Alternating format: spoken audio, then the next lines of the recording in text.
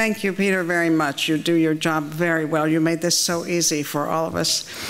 And I want to thank Jo Ann for asking me to participate in this panel tonight. It's, it's really exciting to see your work here, and I feel honored to be a part of this evening. As moderator, I want to tell you what's going to happen tonight. I'm going to briefly introduce Jo Ann, who will talk to us about her work, and then Kathy and I will each take about five minutes to uh, talk to you about why we're here. And um, after that, the three of us will have a conversation about Jo Ann's work. We'll grill her, and then you'll get a chance to do that. Uh, we're going to be very kind to Jo Ann. Joanne Callis has been my dear friend since we met in 1987. I think I can tell you some of the unique things I love about her in just a couple of sentences. First of all, I never knew she was in the 1981 Whitney Biennial until I read her, her bio a couple of weeks ago. So Jo Ann doesn't tell uh, tell us everything. She's a little bit modest, but then sort of her some of her personality means that sometimes she tells us more than we want to know. um, but it's okay her creative artist's nature doesn't have so much discernment, though, about the difference between what we want to know and what we don't want to know. But that's lucky for all of us, because being predictable is boring. And Jo Ann will never bore you, not with her pictures and not with her words. There's always something really fabulous going on inside her head. She's interesting, she's curious, kind, caring, really smart and talented, loyal, loving, and fun. That's who I know Jo Ann to be. From childhood, Jo Ann became fascinated with interiors and furniture, probably because her dad owned a furniture store and her mom often, her school teacher mom often redecorated their home. And because her art teacher said her pictures were good, she felt not only encouraged but sure that she wanted to be an artist when she grew up. Later, studying with the brilliantly inventive photographer and teacher Robert Heinecken, she found her medium.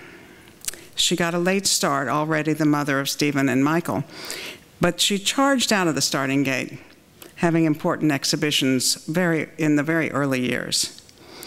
I appreciate Judith Keller's inclusion in her essay a quote from Suzanne Muchnic's 1982 LA Times article describing Callis as an artist who makes viewers squirm by affecting an atmosphere of exquisite torture, using such innocuous instruments as floor lamps, flashlights, satiny fabrics, and wet bodies. It's not boring, is it? And besides, how many artists choose gray frames? But they really work. So Jo Ann's a really good artist. After Jo Ann began setting up pictures and making her exciting color prints, many others followed. She was doing what she had to do, and it caused a shift in the very definition of photography. I call Jo Ann the queen of provocative. Jo Ann's photographs are psychological and seductive. They reveal an artist taking pleasure in looking at something that originated in her brain. Then the pleasure becomes ours. So it is my distinct pleasure to welcome you, Jo Ann, to show us and share your work with us.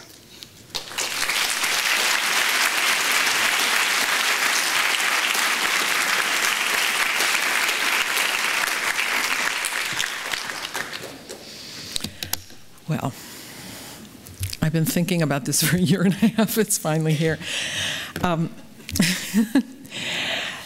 of course, uh, there's a couple people I need to thank, and um, Judy Keller, who couldn't be with us tonight, she's traveling, but it was her idea to have this show for me, and um, it's her keen eye and her insights and her consummate professionalism that made it so much fun and a, a pleasure to go through this process with her. And then, of course, Gay Block, who is my dear friend and who's been a generous supporter, and without her generosity, none of this would have happened. And um, of course, Kathy Opie uh, for graciously accepting the invitation and uh, to speak tonight. And I chose these two women because they are fascinating to listen to. I love having them around me, and I think you will too. And then I'm just going to run off this list because these are the people I worked with Catherine Lorenz and Suzanne Watson in publishing with, with the book uh, experience, and Susan Deland, Davina Walter, Ann Martins, Paco Link, and Amy Davis, and of course Peter, who did make this a very easy process for tonight. So now I'll just talk a little bit about um, the themes running through my work. Um, I seem to keep changing, and it, it looks from the outside like I keep changing my mind about what I'm doing, but there's certain threads that go through all of it because it's coming from me, and that's consistent. And one of them is anxiety and tension. Who knew, right? And sort of taking pleasure in the strangeness of the or, um, the ordinariness, the strangeness in everyday objects and situations, and how things can be going on simultaneously, so that what appears to be normal in one part of your head or your life, uh, then there's all this other stuff that's going on that may not be so ordinary. And also beauty, or my idea of beauty and aesthetics, and always uh, some kind of attention paid to the tactile quality of things. And um, sometimes there's humor, and um, mostly the pictures are psychologically charged, at least for the first um, 20 years of my taking pictures. 15, maybe. Okay. Um, I've always wanted to please myself and uh, make work that interested me. And so if something interested me, I didn't think too much about how's this going to go with my other body of work. I just wanted to follow my own nose. And being a fine art photographer, I didn't have to please anyone but myself. And in fact, when I get stuck and don't know what to do next, I kind of think, well, what would I take pleasure in looking at, or what would be fun to work on, or mostly it's, it's those kinds of things that I think about, and then I get over being stuck. Um, so there's certain things that go through um, my work that you'll see, and I'm going to start with the first slide, and as I mentioned, um, and it, this is not all the bodies of work, and certainly this show is just a survey, and so um, it's not everything I've done for, by any means. And this is called um, salt, pepper, and fire. And I was thinking, I, I, know some of you heard me talk about this at a walkthrough the other day, but I'm going to repeat it. Um, this is um, the, the, things you ordinarily see on a table, perhaps in a restaurant where they have the spotlight up above and it looks all beautiful. And then there's this other kind of thing going on, the surreal thing going on, or the other part of your life that's kind of out of control. And then there's this fire going on on the table and a bird flying out of it. And so uh, surrealism is an interest of mine in that way of putting disparate things together so that. Um, they coexist and they look right, you see. They look right together, but they don't make quite sense. And um, these are somewhat chron chronological. So um, this was um, done because I, I knew I was interested in still life and objects, and I wanted to look at each one individually rather than put them in a still life arrangement so that each one almost has equal weight to the others. And so I built up a scene, um, like a, a bedroom scene, and just with the objects that were in hand, and let the viewer put them together. And then some of those pictures that are in these, I call them grids, or not exactly, but um, are there because they, um, they have a similar shape or something. I, I, would think about one object, and then that would lead me to thinking about other objects and it was like kind of free association. And this one, uh, called Performance, is about tonight and many other times that everyone's always performing, and we all are called upon to do that. So um, I asked a model who was young and made it look easy, and she I just ask her to do this repeatedly because you have to keep doing them over and over. And um, so it's, it's about performing and making it look easy. And so there's this theatrical curtain idea of that I'm always interested in seeming to do, like to make a stage, to make my own world and occupy it in the way I want to. So the pictures are never made to, you, you're not ever made to think that um, they're offhand or I just caught it on the fly. I mean, they always look like they're staged, and that's on purpose, theatrical. And this is called dish trick, you know, trying to pull the tablecloth out um, and not have the dishes break. And so for me, this was like having the rug pulled out from under you. Uh, those times in your life when things are very unpredictable and you can't control them, and it looks like it's all just going to fall down on your floor. And so that's what this was about. And um, this is called uh, Three Tears.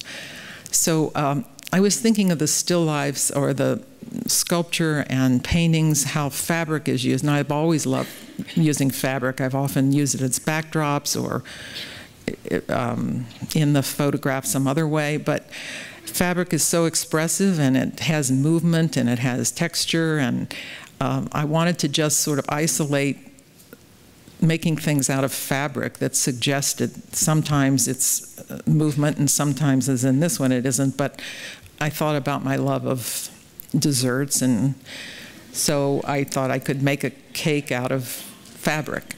so, um, yeah. And it's, of course, it's in the center and it's center stage, and there's a spotlight behind it. And so it's, it looks special because of the lighting. And then this was um, the combination of 15 different desserts. Um, it's called Forbidden Pleasures, and it's. I was thinking about how. Um, well, first of all, I love desserts, and I thought this would give me great pleasure to go out and buy them and not feel guilty about it because I knew I wasn't going to eat these.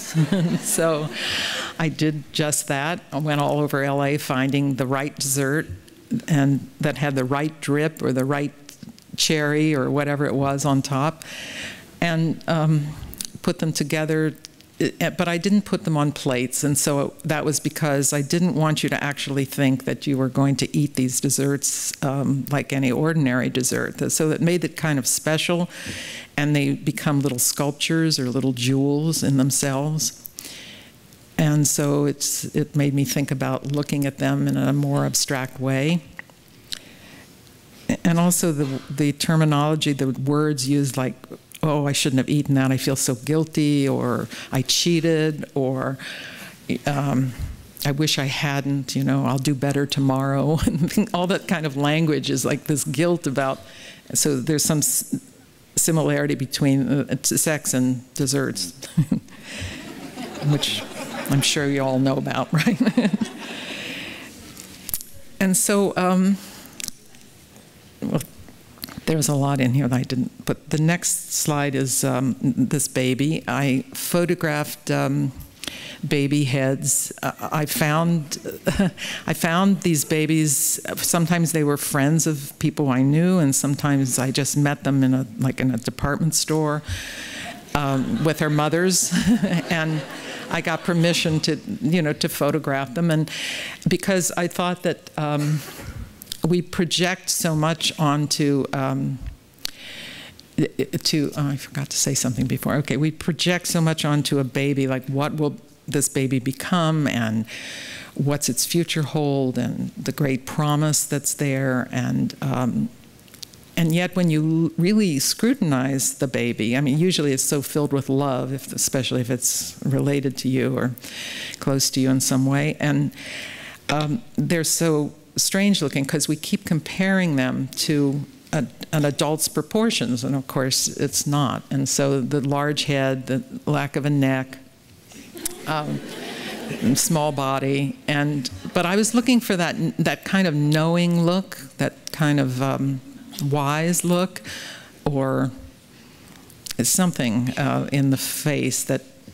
attracted me that way. And so I don't really think of them as portraits in any way of the child, um, whatever that could mean of a small baby, but uh, more just how, let's just scrutinize this. And I, I, you know, they're larger than life size. They're not huge prints, but I also did some paintings of babies, which were quite big. And so the scale has something to do with the impact of that. Um, the, uh, let's see. Uh, this is a group of pictures. This I call it Hubba Hubba Girls. Um, I appropriated um, the images of Max Tatch, uh, who photographed homes in the valley and uh, in the 60s, 50s, and 60s. And uh, when I moved to California, it was in 61, and um, I, I, uh, there were a lot of ranch homes, and so looking at these pictures was just like memory memory lane for me, and I was just very attracted to them. And it's not so much that I think the interiors are beautiful, but that they're very familiar. In fact, some of them are not very beautiful in my view at all, but I love them because they're just so great in the way the style was. And I, it's just like looking at old styles. You know, if you look at your high school yearbook, it's you think I couldn't believe I wore that or something. Well, same with furnishings. And so, but this one. Um, and I found these designs, uh, either made them up or found them in books and altered them so that those lay over them almost as comments on those rooms. And I think there's some slides, uh, there are some images missing of the baby painting and some others, but maybe we just don't have them. Is that right? Okay. So um, I think Kathy, um, well, Gay, are you going to speak next or? Okay. Are you done? No, no, we're going to have a conversation um, afterwards. They're going to show you what they're doing. and forgot to say something. What did you forget oh. to say? Well, in the animal food pictures, the first picture, um, those pictures were either of animals or food, and so, or both. And so the bird in there, I explained about that, but um, food seems to go through a lot of my work too. So I'm I'm kind of obsessed with it. Love it. okay. Nothing earth shaking. Okay. We'll, we'll ask you more questions. Yeah, that's okay. okay.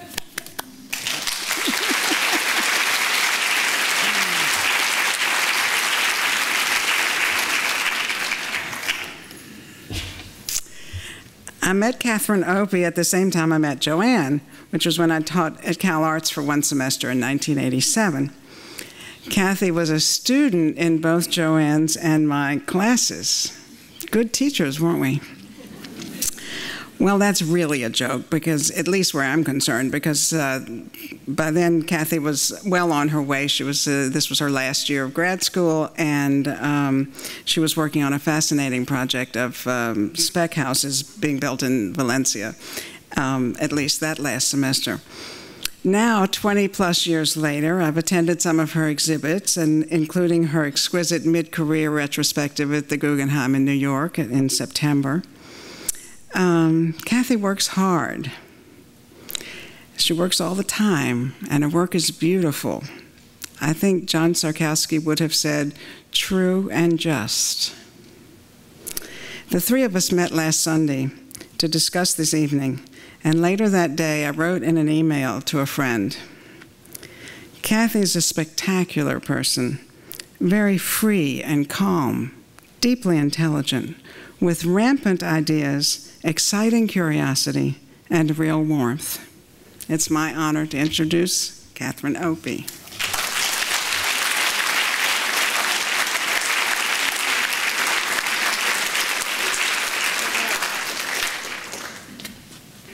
Okay, gay block got me to cry. That's pretty good. Um, yeah, they, they were. They were my teachers, and that's why I'm so glad actually to be here because I I remember first coming to uh, recognizing Jo Ann's work when I was actually an intern at Camera Work in San Francisco. And the Gallery Min book had just been published. And uh, I would go through, and I have that book still to, to this day in my library. And I would go through it. And at that point in time, I had graduated from San Francisco Art Institute.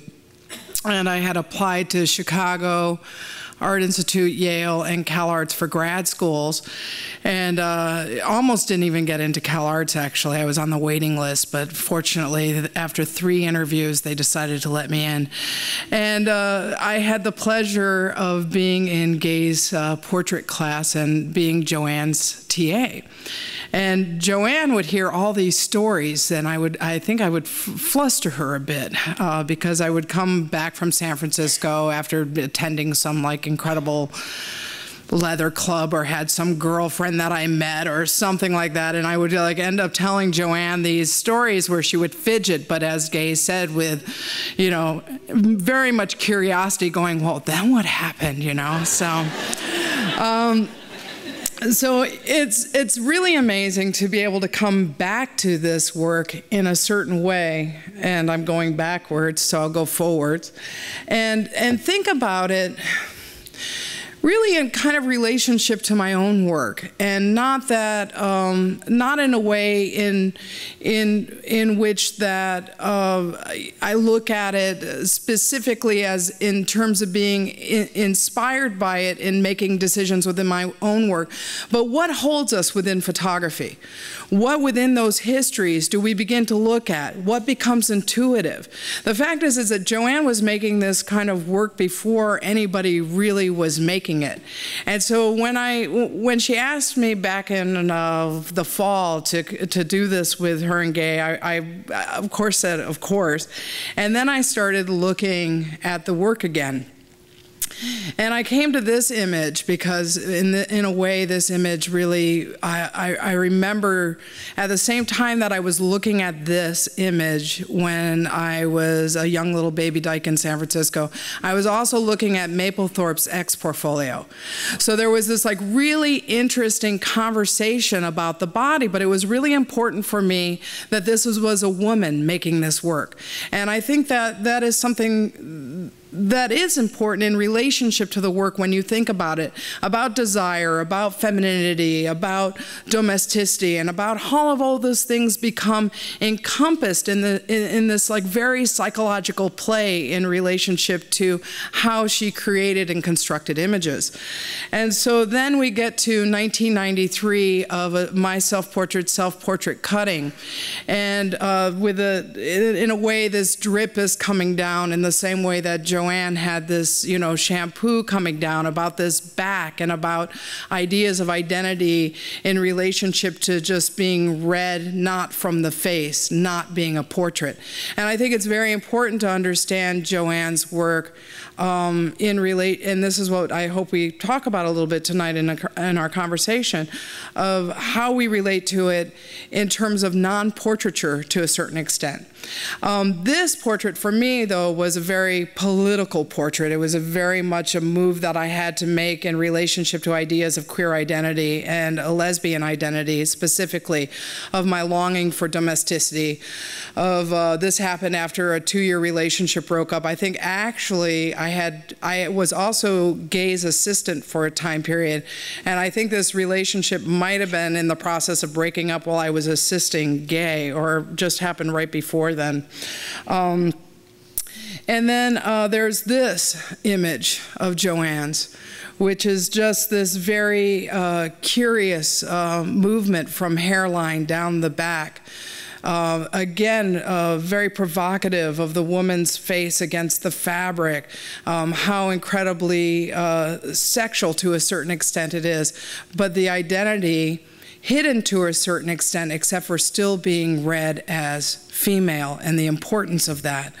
And then we have my portrait of my friend Stake who tattooed Dyke on the back of her neck. So using ink and line in a different way, again, in relationship to one's identity and one's sexual identity. Then we have this is this is one of the most interesting portraits to me because one of the things that Jo Ann does with the work is it's just titled man but this is a man with these like very bright lips in a certain way. And so you don't really know if you should read it as man or as female. And I find it incredibly androgynous photograph. So like when you're like, you know, this young lesbian and you're used to all of these kind of butches who play with, uh, with ideas of sexuality and femininity, that you know, this automatically became something that I would go back to and look at and think about in relationship to those identities that we constructed within our community, our own community, which was so curious to me in relationship to a wider notion of a heterosexual co construct in which what Jo Ann was, was doing and playing with. And then this one, I always think about Jeff Wall's uh, kind of uh, uh, after Delacroix in a certain way, and but this is like even before Jeff Wall made that image, and just the mirror down and the the way that the shadow works and the light and everything is just it's such an odd photograph to me. It's like one of these photographs that you kind of can't keep looking at and wondering about in terms of you know how am I supposed to really deal with this? Am I supposed to think about masculinity? Or am I supposed to think about the construction of it being falling apart that or narcissism the rolled up carpet like is there a dead body in there there's like one of the things that i love about jo ann's images is they're incredibly sculptural and they leave you with not only uh, lust but a lot of desire too uh, then uh, with with the photograph of thinking about um, the man with the tie is uh, my photograph of Justin Bond, uh, who's an amazing drag performer.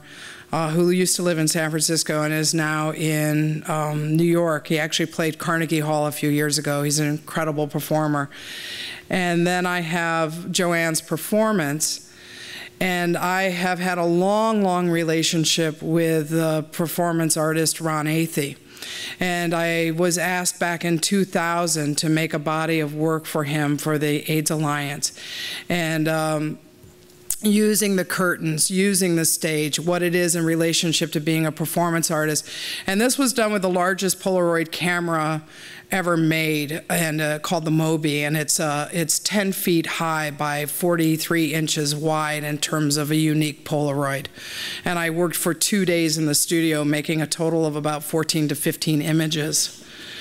And then there's always my desire for domesticity. It's um, it, I have to say that from the uh, cutting on the back to even me traveling around the country in an RV photographing lesbian domestic settings across the United States for three and a half months, that I have finally reached that place of complete domestic bliss in my own life with uh, a wonderful partner and uh, two kids and three dogs, a cat, a turtle, and uh, five chickens. And so within this domestic bliss, before the domestic bliss, there was trying to figure out the domestic bliss. And I think that that's something in relationship to Jo Ann's work that she looks at. But it's really curious to me because at the I, I, I this is a question we'll we'll talk about in terms of uh, when we get all get on stage. But at the time period, she left Ohio, moved here. In terms of women and photographers, they mainly went to their families to make images. And Jo Ann did everything against that in a certain way where it's like here i am wanting to discover like lesbian domesticity and bliss by buying this rv and traveling for three and a half months. Uh, so i'm, I'm going to show a few of this. This is tammy rae carland and her girlfriend kaia and miggy and eileen here in los angeles and then I'm going to leave it on a very much a documentary photograph, but it's as close to Jo Ann as I could possibly ever come uh, stylistically. And this is a lesbian cocktail party. and um, but none of my photographs, I mean, it's very interesting because I think this will be a part of the conversation that hopefully you guys will flesh out as an audience tonight as well. Um, that I have always come to photography from very much of a documentary position. Gay comes from a documentary position as well and moves in and out of those ideas in relationship to portraiture. Um, Jo Ann constructs her images. And I also construct my images, but always within the idea of document. So I think within those, there's a lot of things to discuss that are very interesting that I hope that will um, uh, bring to you. But tonight, now, uh, Gay is going to come up and finish up, and thank you very much.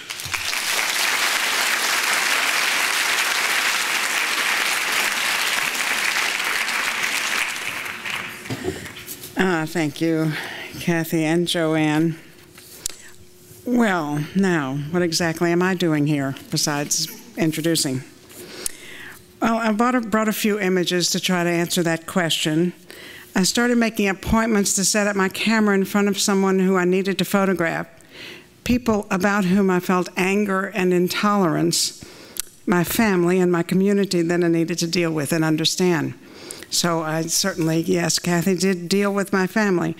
Um, this was what was going on inside of my head in 1973 when I began photographing. Anger at my mother and her friends for what I saw as questionable values. I needed to put them on film so I could see them and remember them. Um, what I didn't expect is that I would learn from them after I saw the images that I had made. And this is why I fell in love with photography, because it wasn't just going and taking the picture and talking to the people, but it was seeing the picture I had made, and I thought, huh, how did, where, where did that come from? And um, so it really taught me a lot. I didn't do the seminal work that Jo Ann did of inventing a whole new form of photography, but my motivation was similar. I was looking for subjects who could make me calmer. Uh, that is my mother. So, um, in 1976. And um, that's sort of what I felt was the iconic um, uh, statement about my mother and me. I didn't have a sister, I had a brother, but he was, you know, uh, a big guy, you know, sort of a larger than life person. But I felt like the overweight uh, daughter with the very stylish, you know, everything that's important is what I look like mother. Um, and then I went to, uh, I'm skipping around a little bit, but 10 years later, I went to South Beach in Miami and I found love and like the grandparents I wished I'd had. And um, yeah, they did want to protect their noses. and oh, they were just fabulous. I mean, you could just see how you could fall in love with people on South Beach in Miami, which, of course, South Beach in Miami is like a different world today. But this was the early 80s. And so then, when I was uh, doing pictures, I, um, I, later produced a book uh, about my mother. I photographed my mother from the time I started photographing in 73 until she died in 91. And I never really exhibited the pictures because they all looked angry to me. Um, about a year after she died, those same pictures didn't look angry anymore because I guess I had come to miss her. And so I knew I was going to deal with the pictures after she died. It was not that she didn't see the pictures and that she didn't pose for pictures and didn't, it, it was all collaborative in a way, but um, I just didn't like printing the pictures. So after she died, I started not only dealing with the pictures I had made, but making new ones with the things I had. And this was, uh, of course, the first that I ended up with. And um, there was a, a bracelet my father had given my mother that said, I love you in diamonds on these little gold blocks. And um, as I showed you in the slide of the mother and two daughters, the overweight problem is a sub theme that's gone through my work. And um, then, of course, Jo Ann had, I don't know if you'd done your, yeah, you had done your desserts by then, for sure. And uh, but um, as you can see, when it got to number eight there, I did eat the cake and mess around with the cake. And all we have left now is the bracelet. And that's the, my mother's jewelry that I was left with, um, all in 8 by 10 photography paper boxes. Just had to figure out something to do with it. And so, besides keeping it in the safe deposit box, I photographed it. And then just general portraits have, always just been my passion. And one day I was rounding the corner uh, to my house, and this girl was standing by the car at, this place they call the Tesuque Market. I live in Santa Fe. And uh, I ran home. I mean, I continued to go home, got my camera, came back, and she was still there with the family. And I started, I took a few pictures. I talked to the family and got permission. And then I said to her, Would you please uh, stand, uh, lean on the car? When I first saw you, you were leaning against the car. And she took the exact same pose I had seen her in. And I just love the way people do their their thing, where the way they just are who they are, and uh, that's all I've always loved showing is just who people are.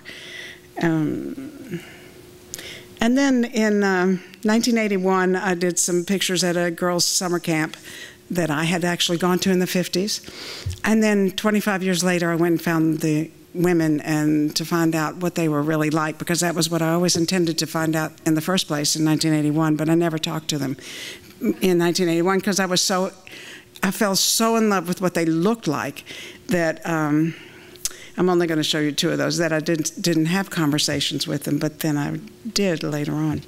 So these are diptychs of oh, I thought there were two of those, but maybe it didn't happen. Okay.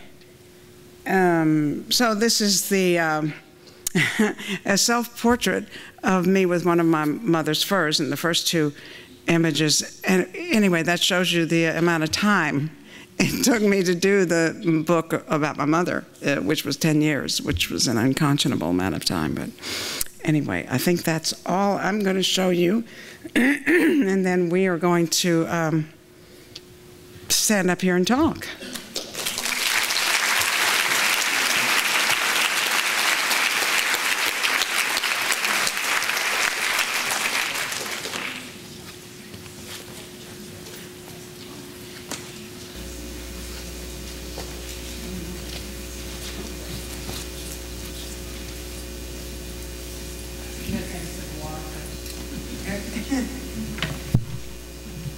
We on? Yes, we're on.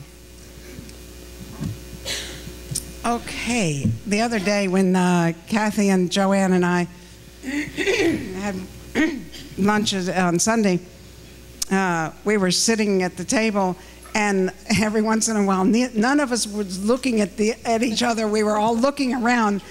and because that's what we do as photographers, we look at, and, and Kathy said she always uh, said that what photography allows us to do is the prolonged stare. so the house lights aren't quite, they're not quite close enough, and the house no, lights aren't up quite enough for us to do that right I know, this minute. But there, there, there's a few prolonged stares to have out there, so. Um, so welcome, Jo Ann. Thank you. Aren't they great? I feel like I'm Merv Griffin or something. I don't think I've ever really done this. See, that dates me back to you know a certain time period. Um, I guess I guess something that I I was thinking of in terms of one of the things that I brought up in relationship to talking about your work a moment ago is how sculptural they are. And I was wondering if you could talk about that in a certain way at the time period that you were making work, it was still a very photographer's photographer place in relationship to ideas of image making. And, you know, what, what was that first, like, you know, impetus, uh, so to speak, to just kind of break through that? Was it studying with Heinecken and the looseness of UCLA to a certain extent, or what, what was that that you didn't follow the trajectory of so many, what Gay and I kind of followed in a certain way, which was like right out of the Szarkowski school. So, could you talk a little bit about that? I had been interested in sculpture, and so um, before I ever learned to use the camera, I, I didn't learn about the camera until I was 33. So um, before that, I was doing collages, uh, tried to paint unsuccessfully, and sculpture was really my love. But you needed a big studio for that, and I really didn't have the facility. And so, anyway, when photography came along, I just thought, this is so great because you can get at what you want to, and it's pretty quick. and sculpture takes forever. So um, I always just had that feeling for it, I think. And of course, with Heinecken, there were never assignments, so we got to do whatever we wanted from the very beginning. And I really appreciated that. And I thought, well, what can I do that would be me? And I just thought, just look inside of what's going on and try to bring that out because, you know, we're all the same, but we're all different as well. So I thought that's the way you can just be more true to yourself. And of course, you end up being influenced by everybody all the time. But who, who would you say were your Oh, biggest influences? no, I get to do this now. You brought it up. No, at that time, I'm sorry. Uh, Heinecken was showing me Pierre Molinier, Uh-huh. and um, yes, Pierre Molinier and um, Hans Bellmer, and oh gosh, Duane Michals at that time. Uh, Uh, And what you was know. your first reaction to that work? Do you remember? Was it titillating, curious? Like, how would you kind of name it and I- describe it? I guess I thought it was um, they were pretty brave and that you were able to do that and it was okay and it was it was kind of fascinating. I was a voyeur and I I um, I, I also think it was at a time when I was extremely fearful because I didn't really know how I was going to make a living. I knew I was going to be divorced. I had two children. And I was just really nervous about how to be an artist and have all that and juggle all that those things in the air. And so uh, I just made work that uh, talked about um, the the anxiety of that and the but the beauty of it and of of how things look and I don't know it that's how it evolved. No, no, yeah. thanks. Okay. Okay, you have anything you want to add? Come on, jump on in here. Well, I, what I want to say is that I love your pictures so much, and they're they're they have such a quality of mystery, and um, you know, you look at them and you just want to continue to look and try to figure it out. And um, I love that you love painting. And I miss your photographs. I want you to keep photographing just because you make more photographs than you make paintings, because obviously, as you said, it's quicker. Yeah. Um, and uh, there's there's just a, this exciting element to your photographs. Thank you. Yes, I, I miss it too sometimes. Um, and you never know. You never know. All right. No, no thoughts percolating up there about But it f is stops true and that shutter we- speeds. No, and, not, not about that. I never. When I have Nicole as my assistant, I will go back to making photographs. But we uh, do do we do have to make work that is we are the audience. That's right. Each what would you like the to see right now up on your wall, or in front of you in some way? so, so let's like do a flashback. You have this show up here. Mm-hmm. It's uh, it's been a long time, probably to a certain extent. Even though planning for the show, you looked at the work for a bit. How did you come about some of the decisions in terms of what to put in? What did you What do you think about now, looking back at that work that uh, from the 70s and 80s, even? When I first started to look back, I, I felt a little embarrassed, to tell you the truth, because I'm in a different place now. And that work goes back to 73, um, some of the early black and white work. And I thought, oh my God, I would never make that work now. But I'm a very different person now than I was then. So I came to be more comfortable just thinking, give yourself a break. And, you know, that's where you were. And, and it felt good. Like making scary pictures that were beautiful at first felt extremely um, comforting because I could get at the way I was feeling in a way. And I think it's always a comfort to know that you're connecting with other people in some level, like you're understood. There's some part of you that you can communicate without words, but it's just, it's like when you read a book and you just feel that author has said it the way you would have liked to have said it. Well, that kind of recognition. So that gave me a lot of pleasure. And for me, I never wanted to be overt, although it, some of them are much more overt than others. But with the, the sexuality, or, I just wanted to have innuendo and, and suggest it without anything really happening.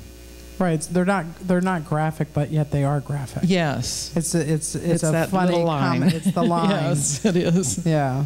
Well, you had a, a retrospective at the um, Center for Creative Photography in Tucson that I saw, and obviously it was a bigger show than this, and Right. much more of a of a complete survey. And I didn't really know your early work so well before that, and I was just astounded at the continuum at the how the, uh, they all it all related. It was so, so obvious that it, everything was done by the same photographer No. and um, and, s- and those early pictures are really valid in my mind um, Oh, in terms of in, in terms of what you were doing then as well as in terms of your work as it pro- progressed You know, to answer your first question, Judy Keller actually curated the show, and she chose the work pretty much. Oh, okay. And even if when I said, well, uh, that's not maybe my favorite one, but it didn't matter, it got in there anyway. Uh-huh. So she was really directing it. Yeah. And I'm, I'm grateful. It sort of took some of that responsibility off of Mm-hmm. me. I mean, sometimes I was wondering about it, but so it was, yeah, it was she that did that. When we uh, had lunch the other day, we talked a little bit about how um, personal usually things are that are written about photog- about women photographers, and how often um, you'll find an introduction in a monograph or a book about a male photographer, and all that personal information probably won't be there, at least in the same way. And um, then I reflected on the uh, introductions that I wrote tonight, and just as my own work is uh, for, is personal, I made introductions that were very personal, and so um, I think that's the better way, personally. But I think that's a conversation. No, I mean I think you know I commented on that at lunch because I was I read the forward to the catalog and I learned a lot from you, which I've known you for over 20 years now, and I, so I learned interesting things about you that I was actually really glad to learn about. I found these certain kind of curious um, moments where paths have crossed. You left Ohio in 1961. I was born in Ohio in 1961. That's why I left. No. I know, no, no, I know. You left exactly. That's why you left. Like, oh, something bad's happening in Sandusky. I better go. Uh, we both returned to childhood homes in Ohio and looked at them. But so, in in a certain way, I was really happy to read such. Um, personal information about you. Um, but one of the things that's interesting is within that personal information, I actually don't think that it necessarily informs the work. Mm-hmm. You know, because I think the work comes out of this very different place that's not necessarily important for me to know about your divorce or certain things like that. But and then I then that's what got me thinking like, oh well, if this was a male photographer, this probably wouldn't have been written in the same way. They would really be addressing the work from a much more historical um, standpoint, which also was done in relationship to the essay. So it was just, I mean, you brought it up, but that was one of the things what, which was curious to me was just thinking about that, kind of how, in a certain way, your work is um, very much hyper femininity, you know, but it's but but I mean that in a way in which that um, of how it's designed, you know, and but it's really I mean, and then that's the curious thing is like when you look at Outerbridge downstairs, mm-hmm. like mm-hmm. also there's this like hyperness in relationship to those stage sets, but that was commercial work where yours was done for you know Right. artistic.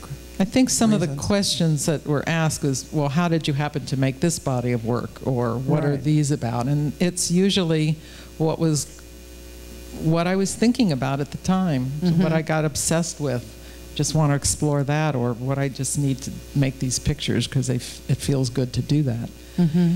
So that's maybe why that's, uh, or maybe just, I don't know why. Well, I think we as women We're are more personal anyway. I mean, I think that it, it just It's comes easier to- through. Well, of course, So- your work has got some autobiographical qualities for sure. Oh, very and much mine so. certainly does, in its, No. in, in its origin. Um, And mine does too, only it's not. It's not through the self-portrait. It's all coming Exactly. from that. It's it's Have not ever- an intellectual place. Have you ever done a self-portrait?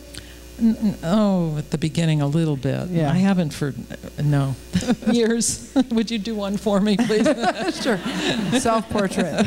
self-portrait, do one for her. Yeah. Self-portrait Jo Ann by That's Kathy. right. And gay.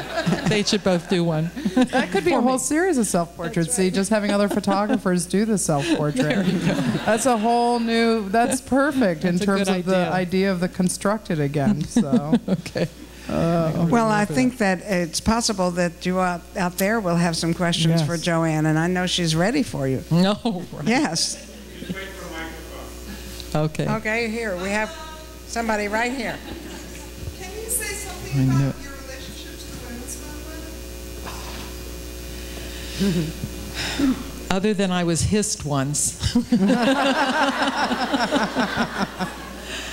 was it a context in which you were thinking when you were making it? It, wa- it was not. But uh, of course, I was affected by it, and it certainly raised my consciousness. And I could see where some of the pictures might be offensive to the feminists of the 70s, early 70s. Uh, the women's heads were not shown. Sometimes I wanted to obscure the identity because I didn't want them to be about a personality. I wanted it to be sort of stand for a woman. And um, and and there's a sort of alluded to discomfort or I don't know things that I could understand, but it was just coming from my own ideas of what that was, and so maybe I wasn't as enlightened then. Maybe I was 33 or 34 years old, a very different time for me, and also the times, and so. But I was never active in the movement, but I was, of course, always for equality and, and all the things it stood for, but I was never political. And I was home with two children and with no help and no family and just taking care of what was at hand. Yeah.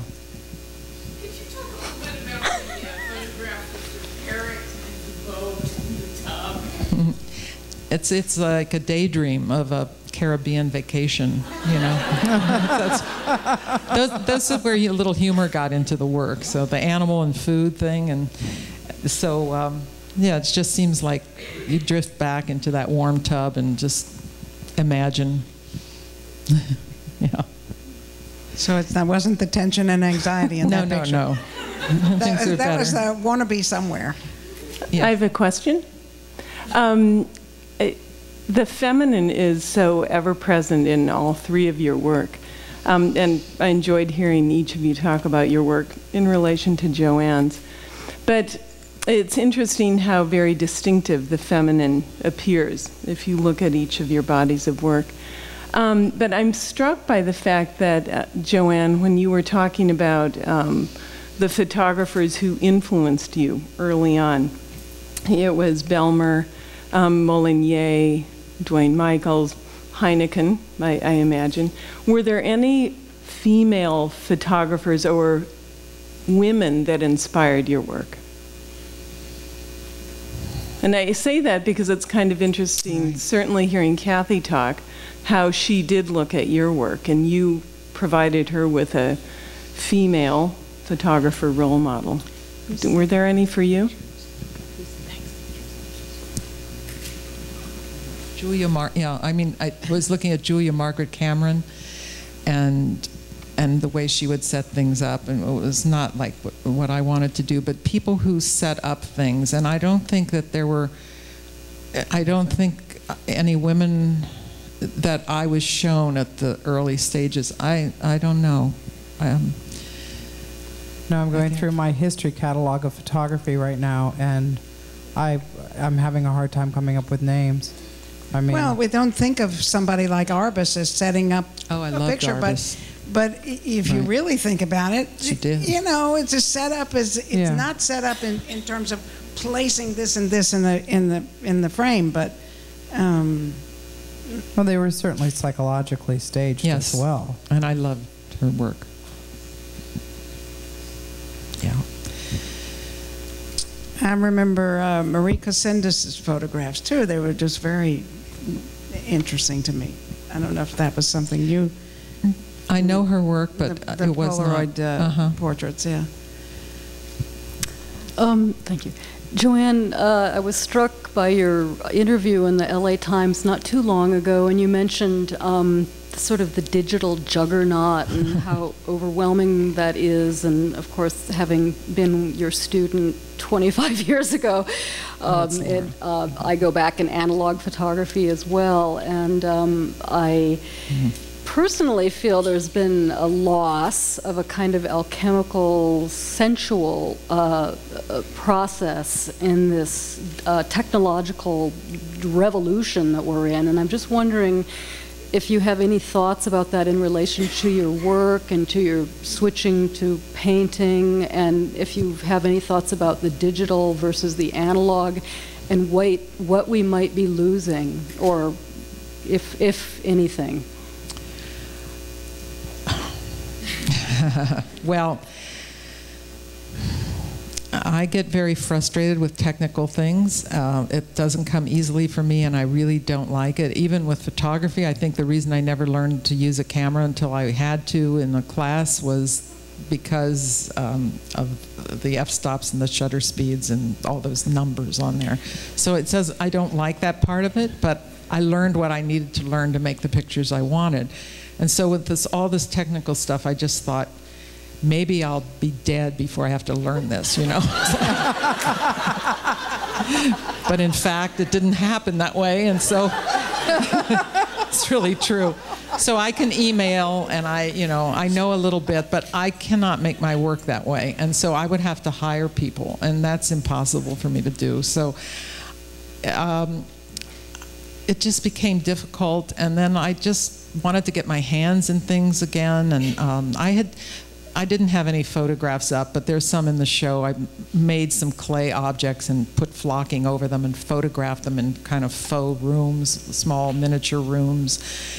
And it just felt good to make things again. And and I really learned how to paint, uh, at least in the way I know how to paint, recently, fairly recently, maybe 10 or 11 years ago. And so um, it was a new challenge for me. And I just thought, God, this is so exciting to see how this works. And so that's, but I mean, they each have their place, but you know, the tide is, it's coming and it's here and it's, it, you just, it's marvelous in many ways. It makes some things much easier and it allows you to do things that you couldn't have done or wouldn't be easy to do. So, I mean, it's, it, it just is. And so, I have a question. Um, I've just been thinking. I saw um, the preview of Jo Ann's show that's coming up at the Craig Krull Gallery. Um, when is it open? it's now, it's up now. But It's the, up Well, now. the opening's not till the 30th. Oh, okay. Yeah. So I went over there yesterday and saw it, and it's um, you know got definitely different images in it. And would you like to talk about the difference and uh, anything about the? Well, I um, think show? One of the frustrations is that um, I couldn't put more things in this show. I mean, there's never enough room, right? and so I um, wanted to show them at Craig Krull's, my gallery, and um, and to show more images from some of those. Plus, I have some small paintings in there that I've done that more recently, and I'm very fond of. And so um, I figured this would be a good time to do it all at the same time. So that's why. Thank you. Oh, and there's somebody up there. Uh, hello, I'm, I'm actually, if you don't mind, Jo Ann, I'm going to go back to that same era of being taught photography because I was a student of Szarkowski. Most of our the examples of photography that we were shown were by men. There were very few women photographers that we were shown, and I think that this returning of the, the gaze, the woman point of view, was a quiet kind of revolution. That artists at that time, young women, were perhaps because of what you were talking about, being a, a mother who had to support these young children, that the conceptual age of women um, defining their work is a later stage that's come about that's terribly exciting, but it didn't really exist then. It was something that women of a certain generation, their voices were really expressed in the image and less in their vocal talents to express and articulate intellectually what they were doing. I don't know if you agree Thanks, with me. Maureen. Yeah, I think that's right. I mean, I it's so incredible how everything changed in the early 60s, but when I was in college, right out of high school, it, it was still thought that what you do, I mean, of course there are exceptions to this, but what you do is you go to college, you get married, you have children, and that's what you did. And then everything else was very nice, you know. if you wanted to do that and you could have the time to do it, that's fine. But that was what your purpose was. And so, I mean, the 50s were extremely um, strange as you look back now. Repressive, I guess, is the word. And prescribed in certain ways, especially Well, in the communities. uh, For So- sure, for artists, and if you, you, you can't be expected to do something that's always been done or that's expected of you because that's not what artists are supposed to do. Artists are supposed to do what they need to do without any, you know. Right. Uh, wait just one second. There's been someone that I've been uh, calling on right there. Uh, the microphone is coming to you. Just a second. Um, your phrase, the prolonged stare, I mean, there's definitely a challenge for that in a city like LA. In New York, it's obviously easier to, you know, people watch. Um, and so I could appreciate how you had to jump out of your car and take the photograph of that girl. And I, I just see such a distinct difference between your, your work. And I thought it was interesting that Kathy said, when are you going to do a self-portrait? Because I see so much of your work as a self-portrait. Um, in other words, you have such a preconceived notion and you construe elements to get the pre- preconceived notion, which is really your, auto, your self-portrait through someone else. Whereas your work, Gay, I see so much about you saying, tell me who you are. It's not, I'm going to tell you who I am through someone else. And Kathy, your work seems to be like, tell me who you are, but you have such a select group that you choose from quite often. So I see your work is also different in terms of portraiture, and I don't know if that's a correct, mm-hmm. correct in the way I've sort of seen it. I think you're But I like that comment that it is, you know, I think that's very insightful that it is a, a, a self-portrait, an extension of a self-portrait.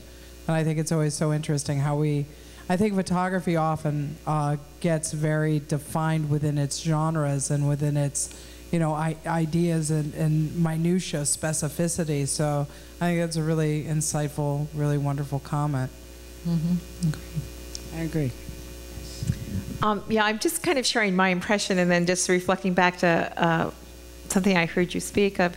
Um, and might be, you may or may not want to comment, but I was, before I walked into the exhibition, I was sort of noticing, like, well, how do you decide, you know, in the banner, like who's on top and who's next? And I thought, well, if it was alph- alphabetical, then it would have been Jo Ann Callis. And then I went in and I seemed like, well, where is her work? when do I get to see the Jo Ann Callis? And it's interesting, you know, a two person show, and admittedly one's dead, and so, you know, his work is completed. But, you know, um, and I'm sure there's always lots of work when we want to have saved, but, you know, I'm wondering, like, it's terrific that this is happening and that you're there and all this. But I actually had a sense of, I didn't necessarily expect parity per se. I wasn't looking inch by inch, but it didn't seem, um, it seemed a little, uh, and I'm wonder I totally am appreciative of what I what what was provided, but it, it felt like very different. Uh, both the work is different, but also a very different intention in the presentation of his work in kind of a, the retrospective encyclopedic mode, and yours where we got um, sort of um, you know it was more focused. Um, and I just would love to hear any of you that might want to illuminate on that, if you if you're willing to do so in the halls in which it happened. Well, I think, first of all, I'm extremely grateful for, that I had this opportunity, and to tell you, I had the time of my life. It was so much fun, and I thank everybody at the Getty for making that possible. And um, it was always it was presented to me that Paul Outerbridge is the main show, and that I will be showing with him, and that my show is not going to be a retrospective. Um, it was going to be a smaller show and was I still interested? And I certainly was. And um, yes, I mean, I wish I had more space, but I'm s- terrifically happy with what's there. And, uh, And you know, besides, uh, I'm not dead yet. it's, uh, having a show with uh, Outerbridge as the opening act is really, she did, uh, it looks really good. It does. it was. I mean, he was an influence of mine, actually. I got into color after seeing his work, so it was a perfect uh, pairing. I could, I could see how color could be used in an emotional sort of way, and so after seeing his work, because before that it was more um, about color was Eggleston, you know, out there, and and uh, so this was a way that I saw, oh, you can do what I like to do, and it can be color. So that was an influence, yeah.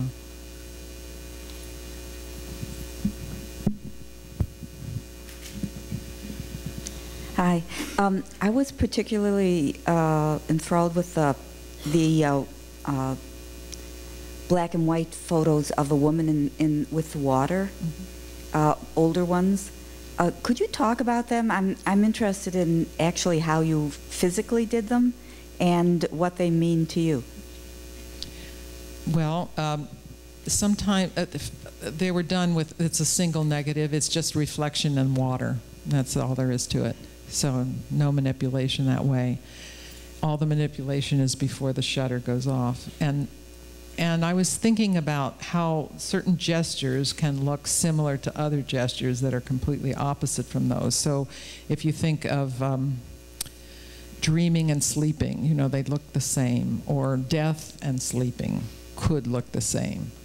And so I was just exploring that and just some visual things that happen. Water creates the fabric to float, and it creates different kinds of shapes, and it, it's, it's kind of a never, never world, and, and beautiful and scary, and yeah, I think that's pretty much it. I'm really glad you asked that question because I think that's a, that there's a whole lot in there. That- That's, that's an important um, aspect of your work. Mm-hmm. Thank you for bringing that up then. Thank you. I have a question. Um, as a student photographer, um, we're always looking for inspiration and ideas and new theories and concepts. And uh, I have a question for the images of the women's backs. What was the idea, that, um, the inspiration that I know that you were trying to expose portrait without face and emotion, body language, but what was the true inspiration for that series that you did? I'll just say mine and then Kathy can do hers. But for me, it was that feeling like, what would it feel like to take a, a pencil down the back like that? Or something dripping down the back, and woman with wet hair has the wet hair is dripping down the back, and it's it's just like it gives you the chills, and so there's that tactile quality that it's just that way. It's it's kind of great, I think, to have that feeling. You know it tickles and it feels great at the same time. And then when we look at it, we can imagine what it Yes, feels like. Yeah, exactly. My self-portrait, really, you did feel that. yeah, quite a bit. Exactly. Um, you know, I really wanted. I think that it. One of the things about self-portraiture, or thinking about that definition again, is that one often thinks about the recognition of the artist in relationship to ideas of self-portrait. And so for me, I really wanted to make something that was uh, really in relationship to ideas of identity that was very much about myself. And so therefore it was, you know, constructed in that way of, you know, the two stick figure girls and what we draw as children in kindergarten, that it's usually the stick figure dad and mom and how these languages get collapsed on top of one another, and the back being physically turned from the uh, viewer, but at the same time, all the desire still loaded onto that. So that's kind of what I was thinking in relationship to making that image. So we've got time for one last question. There's a person here in a white sweater? On this side? Oh. oh. Okay, well- Hang on, ma'am.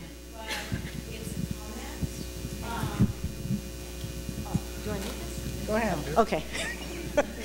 um, I'm so, I I feel like the three of you and being here, and I- I think there's something so revolutionary at this moment, especially when we started talking about the difference between the way women's history um, is looked at within art history and especially within photography and the way that um, history up to this point within art history uh, still comes from a very um, I don't want to say male, but I want to say a male ruling point of view. I mean, women do it too. And I was so moved when the three of you were touching on um, what I felt was being said was what kind of different uh, history are we creating at this moment? I felt like it was so out of the box. And I'm so thrilled that we can talk about passion, Jo Ann, and that we can talk about um, what our passions are in the work and where they honestly come from. And I think we're talking about a different way of documenting work and a different kind of art history. Uh, I don't want to say men or women because that's just way too, uh, you know, inside the box. But I want to say that I think just this event um, and the way that biography comes in, of course, to everybody's work, but it doesn't um, predetermine how a woman makes work. And I think the three of you up there demonstrate the incredible dynamics of personal pleasure and incredible inquisitiveness into the lives of others that come from oneself. And um, when we talk about male biography within art history, it's, you know, like, I, we don't need all those details. Um, and it's very determined. How we talk about women's work in terms of art history is really at an exciting place. And I think that the three of you are demonstrating that it can be very textured, we can talk about pleasure, and there is no groove that you're going to get caught into. And I hope that that is a way that we can continue thinking about the human and the way that you've really demonstrated that so beautifully.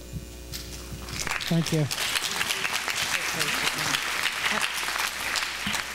There's one person that's most important that I haven't thanked, and that's my husband, David Pan, for all his support over many, many years. Yay.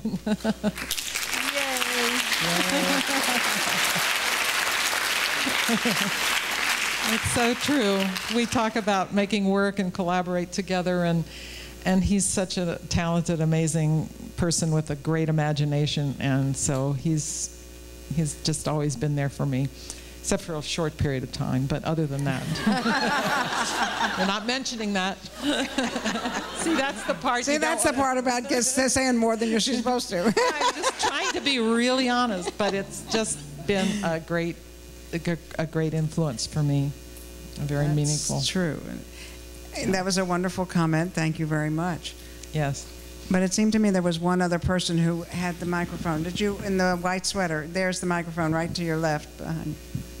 I don't really have a question, Oh, but there was one thing in um, in seeing this that I appreciate that didn't really come out very much, and it's from me, but in its relationship mostly at the moment to Jo Ann's work.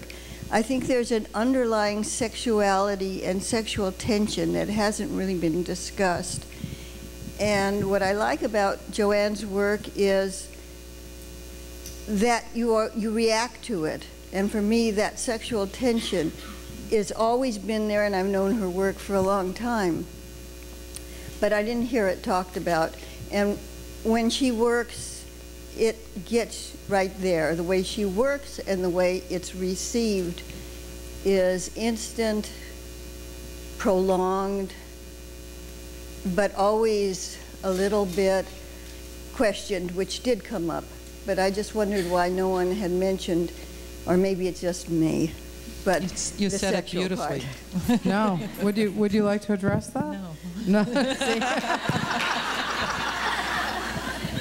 I just like to allude to those things without being graphic. so- Well, you sort of said it when Yeah. the desserts were up there. She said something, but uh, sort of uh, under her breath like that. I mean, it, it wasn't quite, It's, you know. They're humorous and uh, obvious and. Um,